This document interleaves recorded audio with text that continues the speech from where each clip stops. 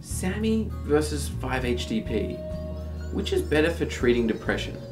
In this video, we're going to be looking at the similarities and differences, the benefits and the side effects of both SAMe and 5-HTP. So by the end of this video, you'll know which supplement might be better suited to help you with your depression. G'day there guys, I'm Jesse Crowe, the Travelling Scientist, and after studying years of pharmacology, I'm here to help you live smarter, happier, and healthier lives. Now, last week's video was all about 5-HTP and how it can help with depression. You can check that video out just up there. But this week, we're comparing 5-HTP to SAMe. And if you've ever tried taking either of these supplements, let us know how they affected you in the comments section down below, because we're all here to help each other. S-adenosyl methionine, or SAMe, is a compound that's produced naturally in the body, and it's involved in a bunch of important biochemical reactions related to pain, liver disease, and depression. And people who have higher levels of SAMe usually have higher levels of serotonin, the happiness hormone, so they're less likely to be depressed. This is similar to 5-HTP, which is the precursor for serotonin. So by having higher levels of 5-HTP, you also have higher levels of serotonin and reduced depression.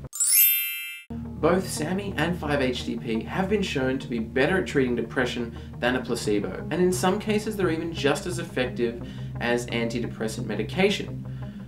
Unfortunately, there's no good studies that really compare 5-HTP and SAMe against one another for treating depression.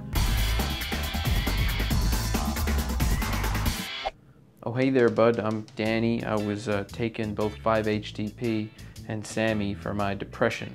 Now the 5-HTP seemed to stabilize my mood a little bit.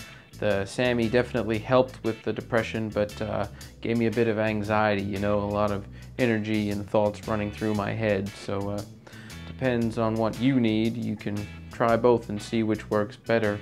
Don't try them both at the same time though, way, because uh, you know, I ended up in hospital. That was a mistake. Anyway, I gotta get to hockey practice now, but uh, you take care, bud. So there you go. Both SAMe and 5-HTP can help with the symptoms of depression. They act a little bit differently and they have some different side effects, but they're both similar in that they shouldn't be taken with any antidepressant medication because that can lead to serotonin syndrome, which sucks. And you can also get them both in your natural diet if you're eating a really, really healthy diet. But alternatively, you can just take a supplement for SAMe or 5-HTP and see if it improves your mood. Now, I'm not a doctor, but I would suggest don't try taking both of these supplements at the same time. Try taking one for a month or two, monitor your moods, and see if they improve. And if they don't, try taking the other one for a little while, and compare the two, see which one works better for your body. If you want to do something about your depression right now, you can download my free resource, Top Tips for Dealing with Depression, and that's just in the description down below. And if you would like to try taking SAMe or 5-HTP to help with your depression, I've done some research and the best supplements that I could find are recommended in the description down below. And if you use those links to purchase that supplement, I earn a little bit of money, which really helps me out, so thank you so much. Yeah!